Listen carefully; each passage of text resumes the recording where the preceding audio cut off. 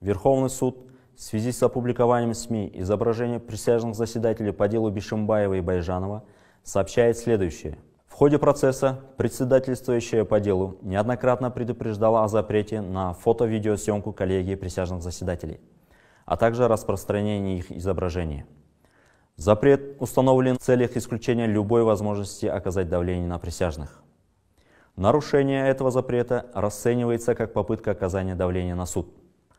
Согласно действующего законодательства, воздействие на суд средствами массовой информации влечет установленную ответственность. При этом по закону о СМИ наказанию подлежат собственник, распространитель, главный редактор средств массовой информации, а также авторы распространяемых материалов.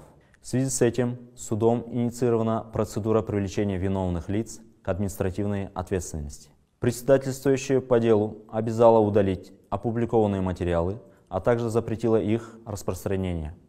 В целях исключения подобных фактов представители СМИ были удалены из зала судебного заседания. Призываем граждан воздержаться от любых действий, которые могут повлиять на процесс отправления правосудия.